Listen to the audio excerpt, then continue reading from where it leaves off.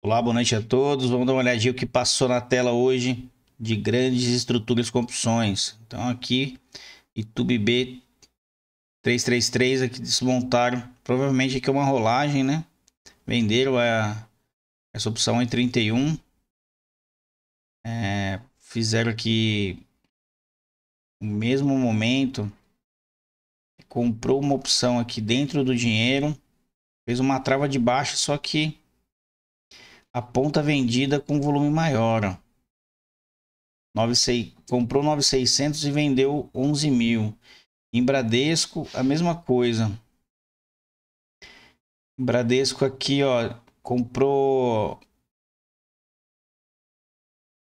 Seria um ratio, né? Comprou uma opção aqui no, no strike 17,48 que 5 milhões e vendeu 10 milhões no strike 18,89.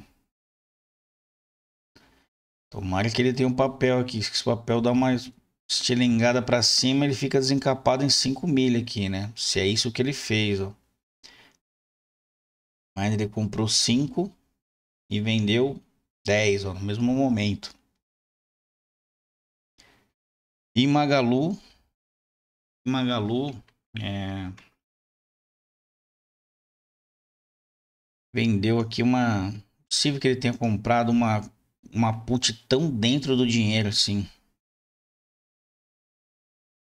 Então, Magalu O235, 39 centavos e comprou uma call Magalu C235.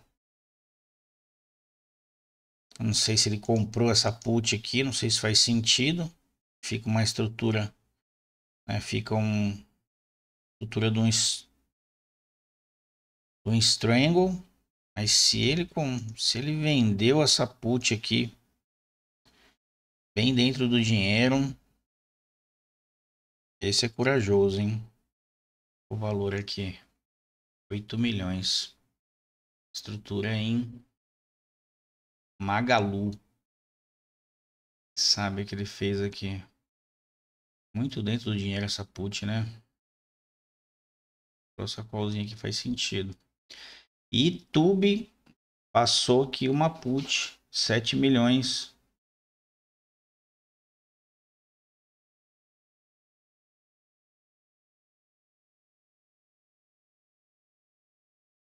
Strike 33,94.